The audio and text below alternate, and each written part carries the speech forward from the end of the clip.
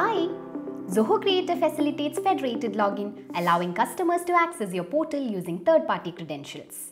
In this video tutorial, we'll explore the steps to configure federated login, enabling users with Google accounts to log in seamlessly and access the portal. The advantage is that customers are not required to register in the portal to gain access. Google serves as the identity provider, verifying the user's identity and providing a hassle-free experience. Consider an event management app featuring a portal where interested individuals can log in and register for the event. Let's configure the federated login so customers with a Google account can log into the portal. From the dashboard, navigate to the portal section under the deploy menu. Here, you will find a list of all the portals in your account. Select the one for which you want to enable federated login. Go to the Authentication tab and choose Default Authentication. Click the Add button. You will be asked to enter the client ID and client secret. The client ID is a public identifier for your app and the client secret is a confidential code used for authenticating your application and making API requests.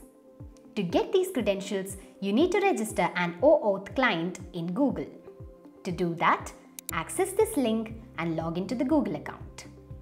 Enter a project name and click Create. Navigate to APIs and Services and choose OAuth Consent Screen.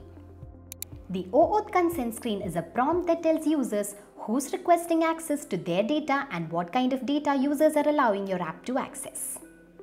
Select the external user type and proceed. Enter the required app information and click Save and Create. Next, go to the Credentials tab and click the Create Credentials button.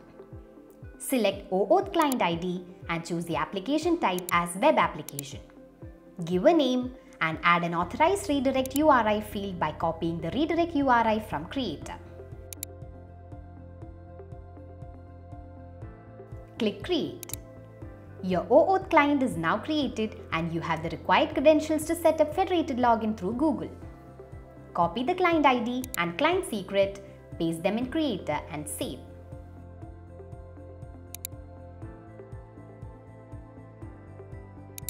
Let's see how the federated login configuration works in real time. As we see, the Google icon is visible as a sign-in option on the portal and customers can access the portal app by signing in using Google. This enhances the user experience and promotes improved accessibility. That's all for this video. Subscribe to our YouTube channel to learn more about Zoho Creator and press the bell icon to get notified whenever a new video releases. Thanks for watching and we'll see you in the next video.